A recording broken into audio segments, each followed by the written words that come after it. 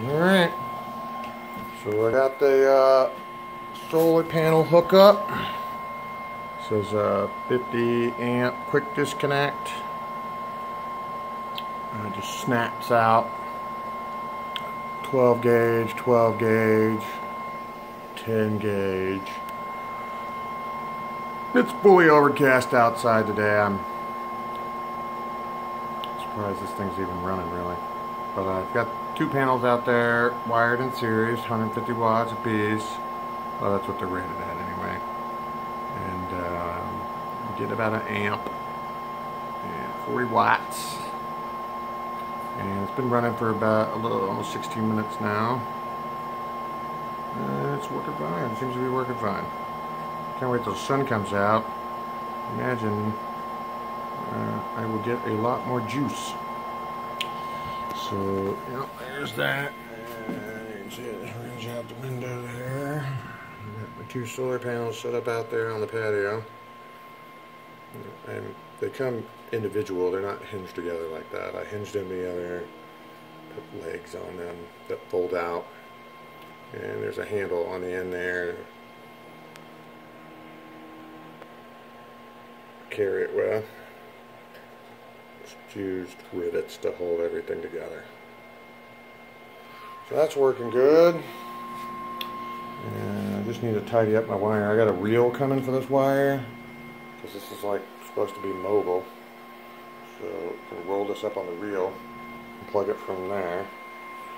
And plug it from the back of the panels and put the wire on the reel and then fold up the panels and you can carry the panels. And then this has a handle and it can be carried I ain't gonna lie, those things folded up together about 60 freaking pounds. So, uh, but I mean, if you're just gonna you're gonna be somewhere for a few days or a week, it only takes a few minutes to set it up.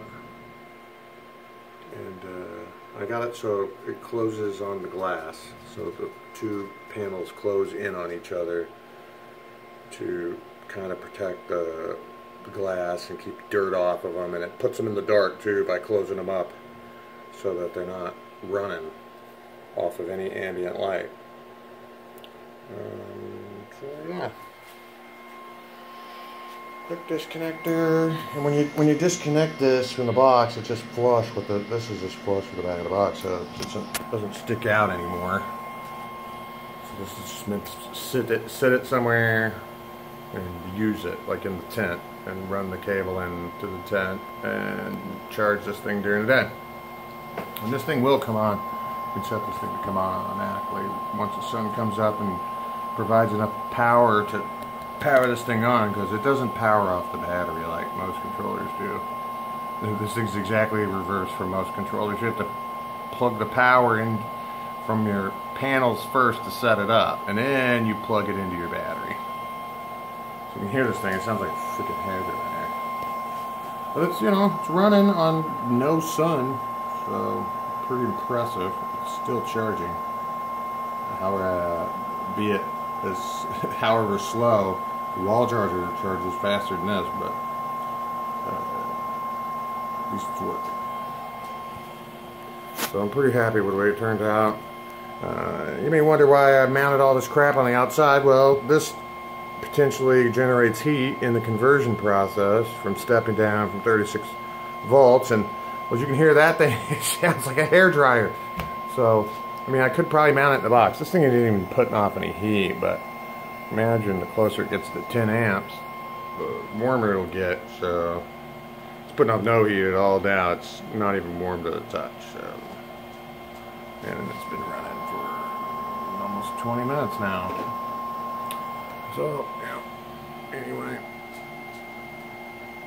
further testing needed.